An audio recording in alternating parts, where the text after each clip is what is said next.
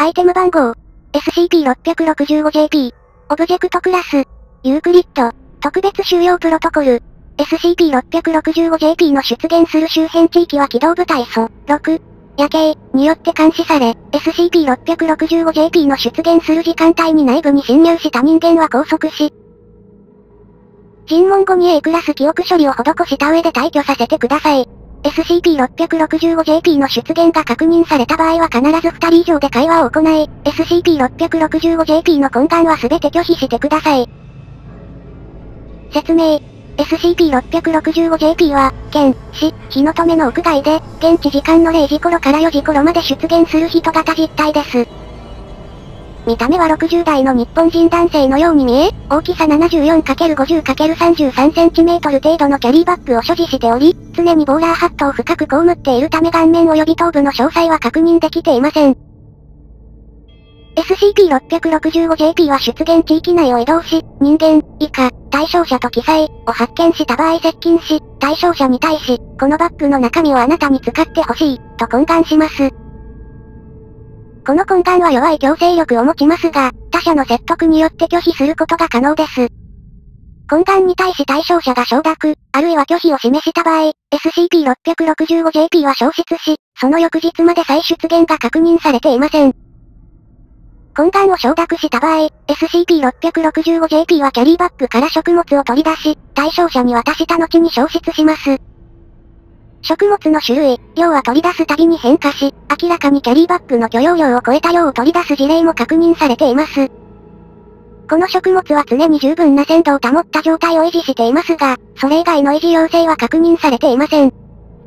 対象者が食物を受け取ってから24時間後、対象者が消費していなかった食品は全て消失し、対象者を中心とした地域一帯に原因不明の事故、災害が発生します。消失後の食物を追跡するあらゆる試みは全て失敗に終わりました。この事故、災害の規模は対象者が消費した食物の量で変動し、消費量が大きいほど影響を受ける範囲と規模が拡大しますが、対象者が受ける被害はより軽度なものとなり、反対に消費量が少ないほど周囲の被害は減少し対象者が甚大な被害を受けることになります。根幹を拒否した場合には災害の発生は確認されていません。SCP-665JP が物理的損傷を負った場合、SCP-665JP は即座に消失し、出現地域内のランダムな地点に全ての負傷が回復した状態で再出現します。この時 SCP-665JP は自身の負傷に対して無反応であり、再出現後は自身を攻撃した相手にも根幹を行うことが判明しています。SCP-665JP は、県で起きた不可解なマンションの倒壊の調査中にその存在が確認されました。この倒壊はマンションの102号室の真下 10km を震源としたマグニチュード6の地震によって引き起こされたものであり、その規模にもかかわらず影響を受けたのは倒壊したマンション1棟のみでした。生存者の一人の、仕事帰りに変な男から饅頭をもらい、一人では食べきれなかったから隣人に配って回った、という証言からエージェントが調査を進めた結果、SCP-665JP が発見されました。関係者には A クラス記憶処理を行い、マンションの倒壊に関してはカバーストーリー、違法建築による欠陥、をルフしました。これまでに SCP-665JP が関与したとされる事案は、県確認されています。実験記録 665JP、1日不1900年、月、日。対象、D、665JP、1D、665JP、2D、665JP、3。実施方法、D、665JP、1に根幹を承諾させ、出現した食品を D、665JP、2D、665JP、3に完食させる。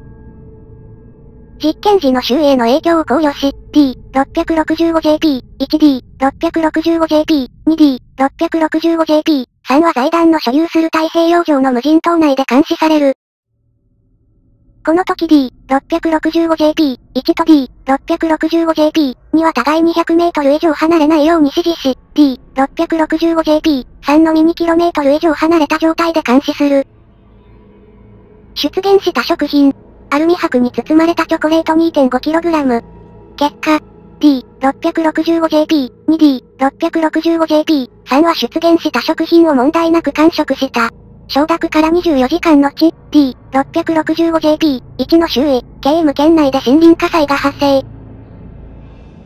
消火後、D665JP には死亡が確認されたが、D665JP1 は衣服の一部が損傷していたものの、人体への被害は見られなかった。D665JP3 周辺の被害は確認されなかった。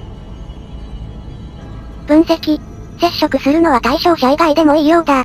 また、D665JP2 が死亡したにもかかわらず D665JP3 が無傷だったことから、対象者以外の人物は接触による被害の規模の変動はないと考えられる。実験記録 665JP に日付1900年、月、日。対象、D665JP、4D、665JP、5。実施方法、D665JP、4に根幹を承諾させ、出現した食品を10%のみ D665JP、5に接触させる。その後 D665JP、4及び D665JP、5互いに 2km 以上離れた状態で財団の所有する太平洋上の無人島内で監視する。出現した食品。加熱処理されたトウモロコシ、GEA メース、5kg。接触した D665JP5 は、塩で味付けされていて微味だった、と報告している。結果、D665JP5 は問題なく規定量を接触した。承諾から24時間後、D665JP4 の周囲200メートル圏内で風速 350km 毎時に達する風が発生。D665JP4 は死亡が確認されたが、D665JP5 及び D665JP4 の周囲200メートル圏外は影響を受けなかった。分析。接触したのが対象者以外だとしても、対象者を中心とした異常現象が起こる。実験記録 665JP、3日付1900年、月、日。対象、D665JP、6。実施方法。D665JP、6に根幹を承諾させ、出現した食品を接触させず財団管理課の焼却炉にて処分する。その後 D665JP、6を財団の所有する太平洋上の無人島内で監視する。出現した食品。保温された状態のフランスパン 7kg。結果、出現した食品は問題なく焼却された承諾から24時間後、D665JP、6の上空で嵐雲が形成され、1時間後に消失するまでに約100回の落雷が観測された。監視カメラの映像を確認したところ、すべての落雷が D665JP、6に誘導されるような軌道を描いていた。D665JP、6は落雷の直撃による死亡が確認されたが、それ以外の島内の被害は確認されていない。分析。接触以外で消費した場合、対象者が消費したとはみなされないようだ。実験記録 665JP、4日付1900年、月、日。対象、D665JP、7。実施方法、D665JP、7に根幹を承諾させた後、SCP-665JP に食物の出現量を指定可能か要求する。出現した食品、実験結果を参照してください。結果、SCP-665JP は了承。その後、エージェントの指示を受ける前に D665JP7 が、どうせならくれるだけくれ、と発言。結果、SCP-665JP はエージェントの攻撃により消失するまでに加熱処理されたウサギ、レポリネイトラウサート、シカ、カービデイ、馬、エクースカバルス。編集済みの肉を、トン出現させたこの際、SCP-665JP は翌日まで再出現が確認されていない。出現した肉は全て焼却処分され、D665JP7 は財団の所有する太平洋上の無人島内で24時間体制で監視された。承諾から24時間後、データ削除済み。分析。今回の事案で財団が失ったのが D クラス1名のみというのは奇跡だろう。これ以降の SCP-665JP の根幹を承諾する実験は禁止とする。インタビュー記録 665JP、1日付1900年、月、日。対象、SCP-665JP。インタビュアー、エージェント、岸田、エージェント、三沢。録音開始。エージェント、岸田。こんばんは。少しお時間よろしいでしょうか ?SCP-665JP。おや、こんばんは。どうしました？エージェント、ミサは、あなたは会った人にいつも何らかの食べ物をプレゼントしているらしいですが、何のためにそんなことをしているのですか ?SCP-665JP。私のことをご存知だったのですね。これはすべて私の食材のためにやっていることなのです。エージェント、岸田。食材 ?SCP-665JP。はい。私はかつてある少年たちに怪我を負わせました。彼らは私に謝罪を要求し、人々も私に罪を償うように言いました。だから私は償いとして未来ある人たちの手助けをしているのです。私にはこれくらいのことしかできませんが。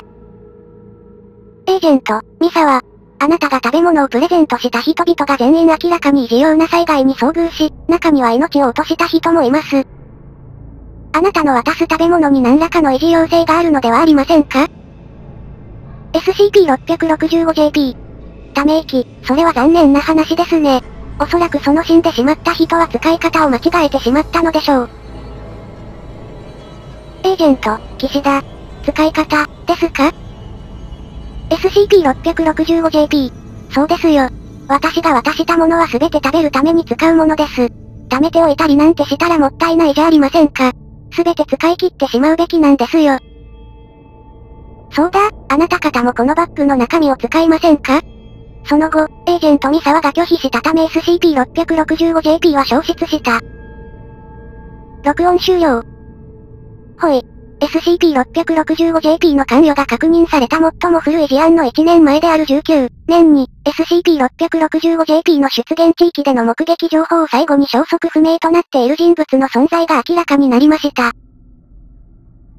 消息不明となった、死は10歳の少年3名に対し所持していたカッターナイフで切りつけたとして現行犯逮捕され、懲役5年の判決を受けており、消息不明となる前日に刑期を満了していました。被害者である少年3名を調査した結果、1名が SCP-665JP の関与した災害に巻き込まれて死亡しており、2名は1990年に起こした暴行事件で逮捕され、現在も服役中です。2名に対するインタビューでは有力な情報が得られませんでした。死と SCP-665JP の関連性については現在調査中です。